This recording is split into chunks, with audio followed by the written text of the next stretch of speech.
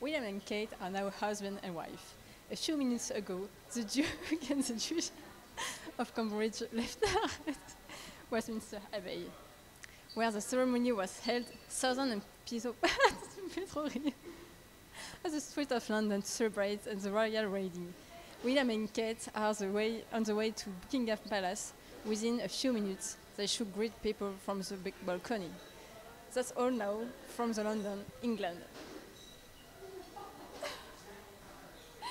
fait trop rire.